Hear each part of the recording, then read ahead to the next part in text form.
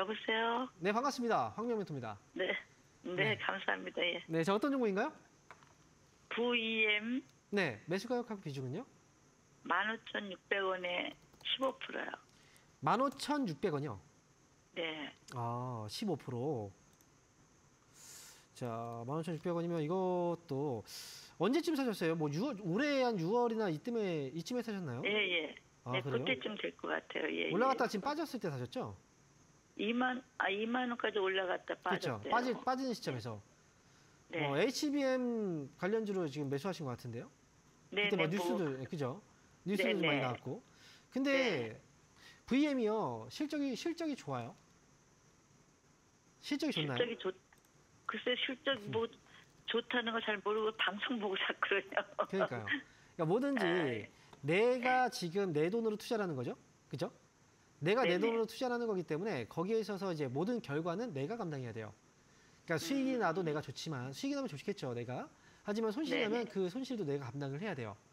네, 그럼요, 그렇기 예. 때문에 어, 확실하게 확인하고 이 투자를 해야 되는 거잖아요. 이제 방송에서 그냥 좋다라고 네. 해- 한다고 해서 뭐든지 그래, 그렇잖아요. 왜 공짜 점심은 없다는 얘기 들어보셨죠? 네네. 그죠. 나에게 공짜로 돈을 벌어주는 사람은 없어요. 그러니까 아, 방송에서. 방송에서 예. 아무리 뭐 좋다고 얘기해도 모든 결정은 내가 내려야 되고 모든 결과는 내가 감당해야 되기 때문에 내가 음. 확실하게 한 번 더 알아보고 그리고 나서 매수를 하셔야죠. 지금 제가 볼 때는 이제 한미반도체하고 비교 대상으로서 뭐 VM이 그, 당- 그 당시에 뉴스가 많이 나왔었는데 이 회사 같은 경우에는 지금 적자예요. 2023년도에 적자를 냈단 말이죠.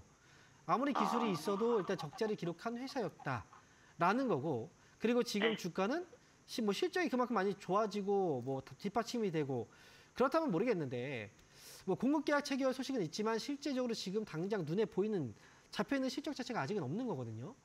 일단은 제가 볼 때 VM은 매수를 하신 그 시점도 일단은 좀 잘못되신 것 같고요. 어? 네. 방송만 보고 이제 매수하셨으니까. 그리고 올라갈 네. 때도 지난번 보잖아요. 올라가고 떨어지고 올라가고 떨어지고 올라가고 떨어지고요. 보세요. 이 고점이 높아지는 것도 얼마 안 높아져요.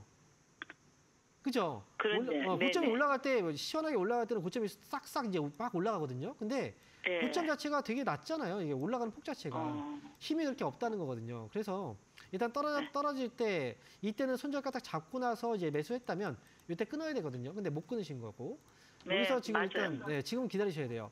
조금 더 빠질 수도 있고 반등 나오면 제가 볼 때 12,000원, 13,000원 정도 이 정도 네. 올라오면 그때 이제 팔 이제 매도를 한다기보다는 어, 다시 한번 이제 상담을 받아보시는 게 좋을 것 같아요.